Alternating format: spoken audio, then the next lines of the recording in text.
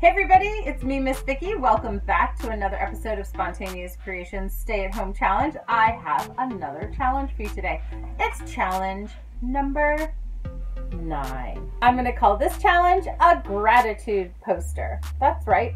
Today, we're going to be creating posters that thank people around us for something that we really appreciate. This past weekend, I was feeling really grateful for all the first responders and essential workers who are out there still doing their work while we're at home and helping to keep our communities running and keeping them safe. And so I created a poster. Now, I happen to make mine on a canvas. So what you might need for this activity is either a canvas or a large piece of white paper. Paints, I used acrylic paint, but you don't have to use acrylic paint. Use whatever paint you have at home and some paintbrushes, okay?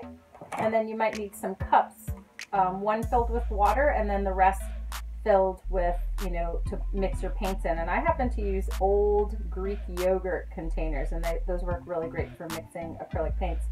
If you don't have those items, don't worry. You can still be grateful and thankful and create a poster with any markers and a piece of paper. It doesn't have to be big, it could be small. Or you could go out on a sunny day and use some chalk and make a gratitude um, chalk design on your on your front stoop. So you might be wondering, what does gratitude mean anyways? It's being thankful and appreciating someone. You know, gratitude it comes from the Latin word that means gratis, which means thankful or pleasing. So when you feel gratitude, you're pleased by what someone has done from you, and then you maybe want to show appreciation in return. And so, what are you grateful for? What are you thankful for? Are you grateful that um, for someone in your family because they are feeding you every day and taking care of you? Then you can make them a gratitude poster or a gratitude card or a thank you card. Okay.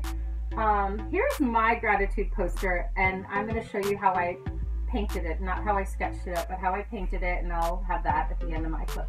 But basically, all you have to do is write thank you at the top or um, gratitude at the top, and then just draw some beautiful pictures however you can that of what you're grateful for. Maybe you're grateful that the sun comes out every day and maybe you draw a picture of the sun.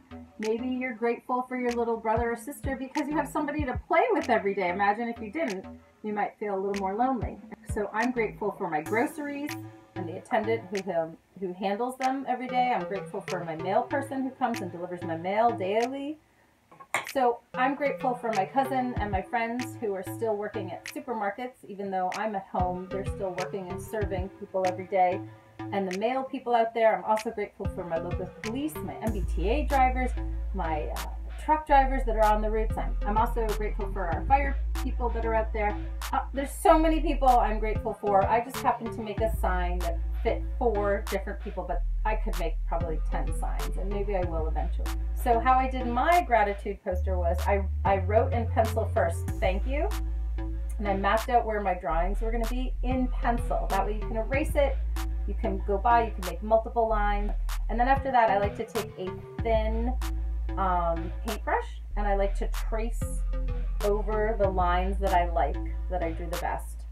And I trace those over with a black thin painting. So you'll see me do that. And then I love to think about a color palette. And so my main color that I wanted to showcase was yellow and blue.